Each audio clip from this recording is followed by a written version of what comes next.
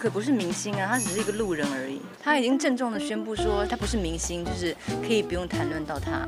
我只能跟你讲，就是麦克也很爱吃 Uber Eats，也很爱点 Uber Eats 啊。你有话要对嗯，我就希望他可以多点 Uber Eats，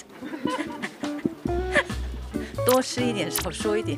真的是很称职。下一次出席外送平台大演记者会，跑到全家都热爱叫外送。送货员说：“您好，请问你是 S 姐吗？” 我想说，我我说你怎么知道？他说：“哦，因为我看地址还有你的名字。”有本名。对啊，因为我不太会用三 C 的那个东西。我姐是 Uber Eats 高手，就是她点的东西都非常好吃，然后就是姐夫就是热爱所有台湾的食物。然后他最近还点了那个韩国的酱料，然后自己在家烤那个韩式的那个烤肉给我们吃。就他现场烤，然后我们就立刻包叶子，然后沾那个韩国的酱料，都是那个酱也是 Uber Eats 上面点到的。然后就想说，哇，真的宛如置身那个韩国，然后又看到真正的韩国人，然后讲韩讲韩文，就觉得说好像在好像在韩国旅游。然后有服务生在帮你烤肉。就是我们想说，嗯。要今天来是要吃他亲自烤的肉，那会好吃吗？就殊不知非常好吃。下次他还说他要煮大酱汤给我们喝，然后什么什么什么，他就是被我们夸奖到，他就是接下来好像我怕他接下来放弃 DJ 了，对，跑去应征厨师。下次一家互动有趣，前阵子他的二女儿李李出席活动，母女同台，焦点却几乎都被女儿抢走了。就是因为上次带二女儿出来，口碑实在太好了，就说她的美貌跟气质碾压母亲，所以我接下来，接下来我应该是会封锁她的演艺之路吧。嗯，老大跟老三会不会有点吃味？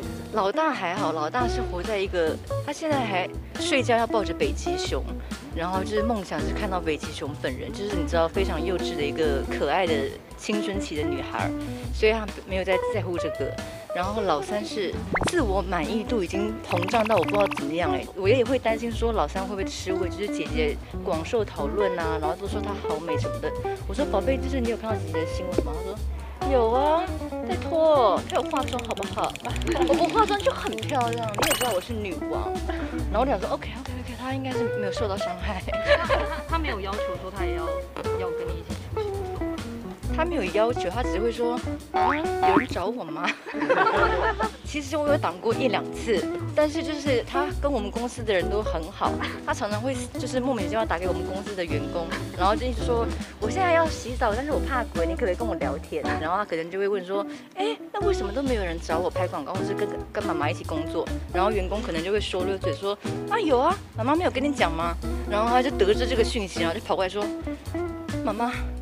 不是有一个什么什么东西要找我拍吗？你为什么没有跟我讲？然后我想说，哦，谁哪个哪个掉飞啊？而且如果接下来一起工作，我是不会跟他们讲总共我们会拿到多少酬劳，因为我怕他们计较说，那你是要分我多少还是什么的。